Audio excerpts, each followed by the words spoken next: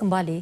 Gerakan Belia 4B GB 4B Kuantan membuat dua laporan polis terhadap seorang peguam Asia Abdul Jalil kerana mengeluarkan kenyataan menghina Nabi Muhammad menerusi laman Facebooknya bertarikh 12 November 2017. Kenyataan Asia itu mengguris sensitiviti umat Islam yang menghina Rasulullah.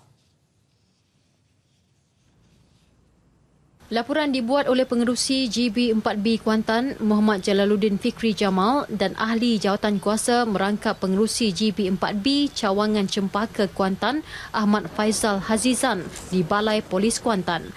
Menurut Muhammad Jalaluddin, Asyah memuat naik status yang berkait hak wanita dengan memburuk-burukkan sifat, akhlak dan kepribadian baginda. Rasa memang tidak patut sekali lah sebagai seorang Islam yang boleh membangkitkan uh, kemarahan uh, pembaca dan juga uh, seterusnya umat Islam di negara kita ni lah. Uh, jadi uh, saya pun melihat uh, sebelum ni tak ada lagi orang yang uh, membuat laporan ataupun mengambil tindakan tentang uh, uh, perilaku beliau ni. Jadi saya mengambil inisiatif uh, berbincang bersama NGO saya iaitu uh, Gerakan Belia Pak B Kuantan untuk uh, datang ke IPD Kuantan lah membuat uh, laporan supaya uh, pihak-pihak yang berkenaan mengambil tindakan kepada beliau.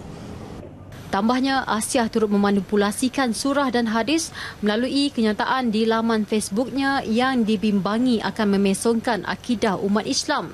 Sebelum ini, Asia Abdul Jalil telah memuat naik kenyataan di laman Facebooknya bertarikh 12 November 2017 yang menghina kepribadian Rasulullah.